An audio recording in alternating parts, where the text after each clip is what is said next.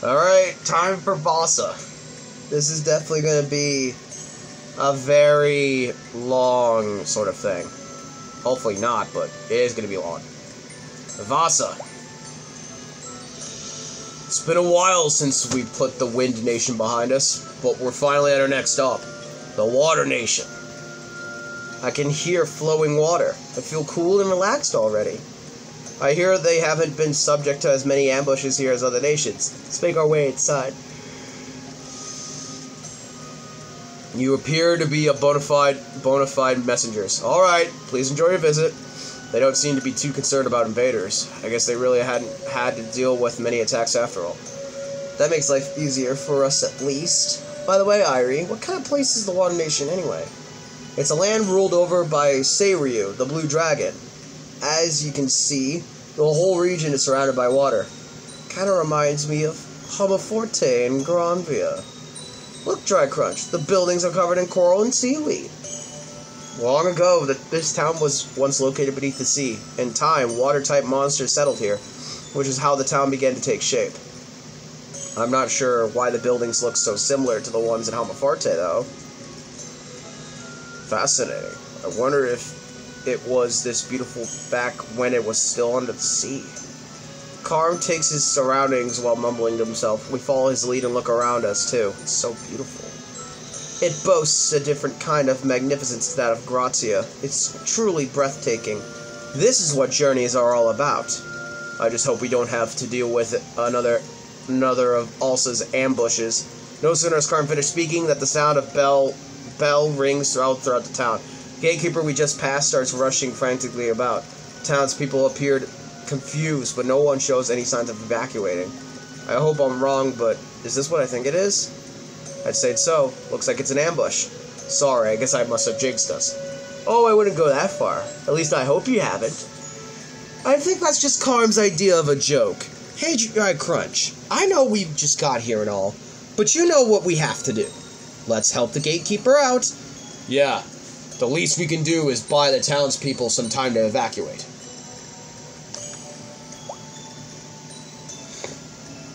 We managed to hold them off, but that was quite an intense assault.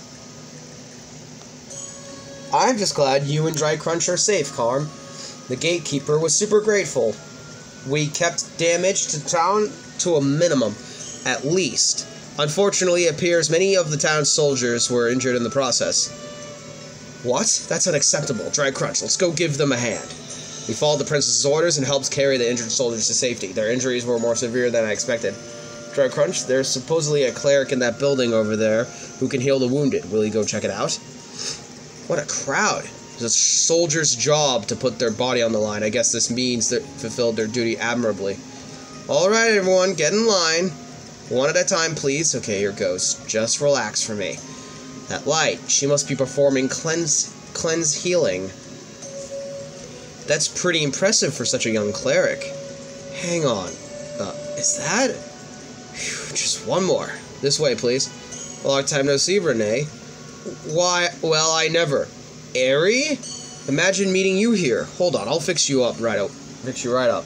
Oh, it's quite the healing power the ability has. How can you heal so many people all at once like that? I'm a cleric of the Great Ether Church. That's where I met Airy, actually. She was always kind to me. Thanks to her prodigious talent, people refer to Renee as the Great Hope. She's actually very chill, though. I'm just a regular person like everyone, everybody else. Excuse me. If it were up to me, I wouldn't want to work all the time, believe me. Now that you mention it, I heard stories about a great hope in the church. Something about her actually being really lazy and prone to skipping work. What? I never skip out on work. I always do whatever I'm asked and I do it well. I won't deny I can be a little lazy at times, mind. Thing is, everybody makes out like I'm something special, so I can't walk two steps without being asked for something. Which is how I wind up being late for appointments every now and then. I know you're helping people, but you should probably prioritize appointments you made first, don't you think? Then you can go back to taking care of any other requests. Unfortunately, that won't work for all the bureaucratic red tape I have to go through at the church. They're so strict over there. Yeah, Karm, don't be so hard on her. Being famous is a complicated business. Bad rumors can spread in a flash. Cut her some slack, won't you? But if you're so busy, then why are you here? I'm on orders from Grata. I'm having to do work all across Sagiris. From Grata? What kind of orders? As soon as the requ- question escapes the princess's lips, the bell rang throughout the town again. Another ambush. Dry crunch? Let's go. It's been so quiet here up till re- now, but suddenly the frequency of all the attacks is increasing. Are they onto us?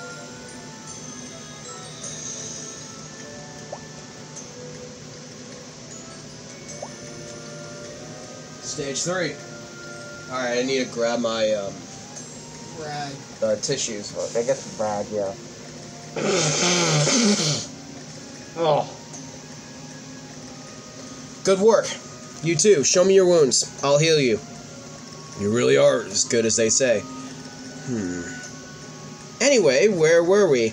You were talking about being under orders? What are they exactly? I'm purifying the ether that emanates throughout Sagiras, at the same time almost performing maintenance work on the towers in each nation. Towers? You mean like the one in the distance, for example? What are they exactly for exactly? They monitor the surrounding ether to determine whether it's normal or well abnormal. Okay, and what purpose do they serve? Unfortunately, I can't go into any more detail. Not even to the princess? You're asking for information known only to a select few members of the Great Ether Church. I can't tell you any more than I already have. Great, that just makes me more curious. Irie, do you know anything about this? No, I can't say I do, sorry. The color suddenly drains from Irie's face. Together with Renee, she turns to look at the tower. Did you just feel that too? A strange sensation. Something's happened to the tower. We must hurry. Renee? Here we go again. Never a moment's rest with her, it seems. Dry crunch, the road to the tower is dangerous. Please, you have to chase after Renee and see that she reaches the tower safely. I can't deny Irie's request, so I head after Renee at once. We managed to catch up to Renee. Thank you, Dry Crunch. Thanks, Irie. Honestly, I don't think I would have made it alone. Would you like to accompany us, accompany you from here on as well? I appreciate the offer, but the runs the risk of leaking confidential information, so I'll have to decline. If you can take care of it by yourself, then by all means, be our guest, but there's no shame in asking for help. Whatever the tower's for, judging by your reaction back there, it must be pretty important. You can't let any, anything happen to it, right? Renee, you can trust these people. They won't as so much mention it to another soul. Please believe us. Fine, you can join me, and thanks. I'm not much used to asking people for favors. I tell Renee she's more than welcomed, only for her cheeks to flush red. Glad to hear it. Better safe than sorry, eh? Thank you, you really are a kind bunch, huh? Much obliged. Now, assuming we've earned your trust, how about telling everyone what you know about the tower? Irie, you know I can't do that. I understand it's confidential information, but these people are here to help you. You understand that, don't you? So you're proposing a trade? Your help in return for my secrets?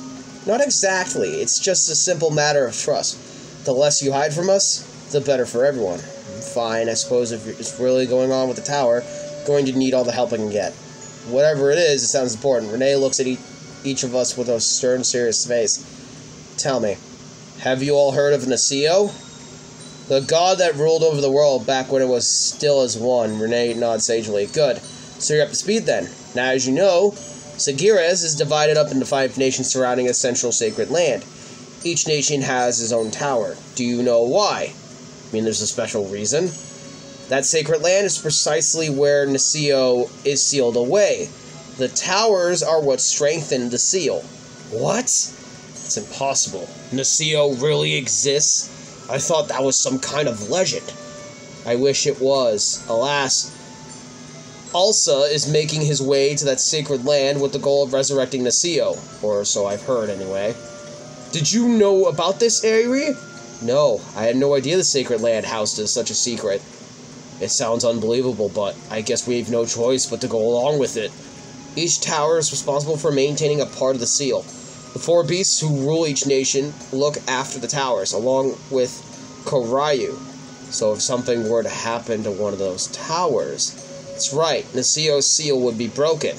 And if that happens, Niceo is already dangerous enough as it is. If also were to get his hands on that kind of power, then we'd be in real trouble. It's to keep that from happening that I help to cleanse the ether and monitor the towers regularly. Make sure that they're all running smoothly while I'm at it.